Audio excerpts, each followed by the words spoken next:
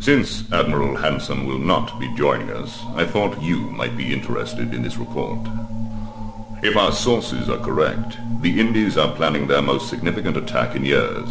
They have selected a target which would hurt us immeasurably. Which is? The Tolleman jump point at Alpha Centauri. They plan to block the most strategically vital junction point in known space. Block it? How? I'll... I'll recall the fleet. We can... No. If we send in the fleet, there won't be an attack. We'll just lose our informants. No. This needs something. Someone special. Someone we can use without raising suspicion. I'll get on to it. We can have the most decorated officers in known space. Listen, and listen well, my friend. We don't need decorated. We don't need senior, well-educated, or well-connected. This is a war. What we need are results. Now, tell me, which serving officer has had the most kills? Hmm. I'll just... Clay Jefferson H. Captain Dreadnought CNV 301. Kill total 151. Confirmed. Jefferson Clay, eh? Send him on a patrol mission to the Tolleman jump point. Can we trust him? He has a reputation as a dangerous man. Good. We need a dangerous man.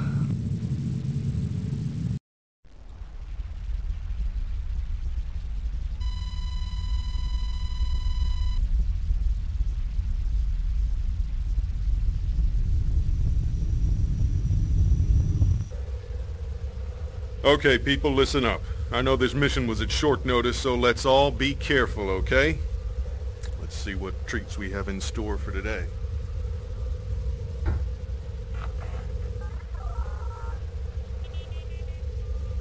Captain, a serious situation is developing.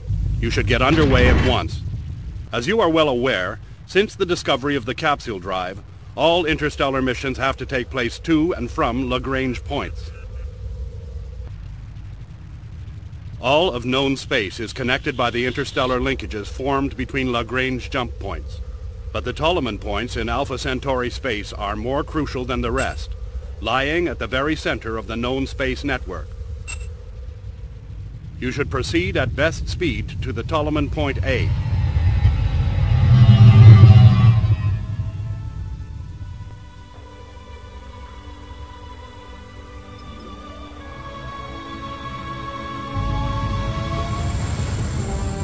My information suggests some kind of attack on the point itself is imminent. But as to what that attack involves, your guess is as good as mine. Just in case, we have a 10-ship backup squadron on standby if you FTL for assistance. This just sounds better and better. Your mission orders are patrol the target area and report back. If you engage any hostiles, call in the backup fleet. This is Admiral Brett, terminating this briefing document. Well, you heard the man. Let's scan for hostiles. Scanning now. Found one. Low thermal trace, 2,000 Ks. Probably a tug. Puffin class.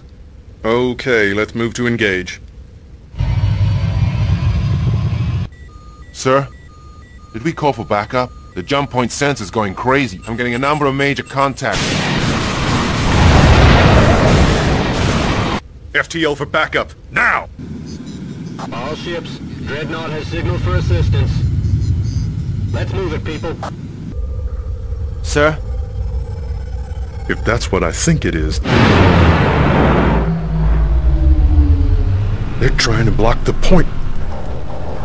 FTL the backup squadron. Send an abort code. Too late. Hell. If those ships come out of jump space into a blocked point, we are gonna see those ships smeared all over the...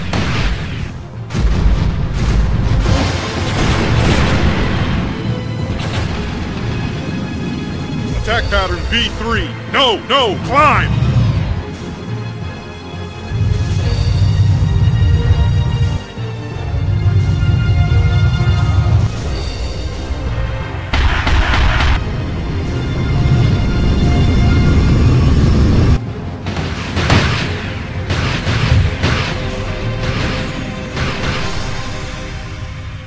That's it. Hold position here. Match velocities with the destroyer.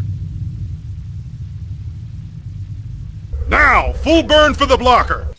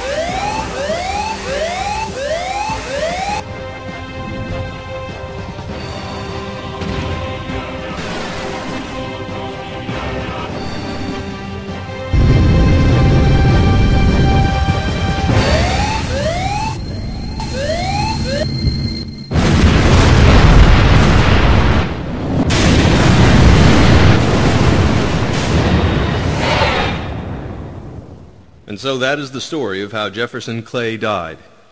He gave up his life to save more than 1,500 of his fellow officers.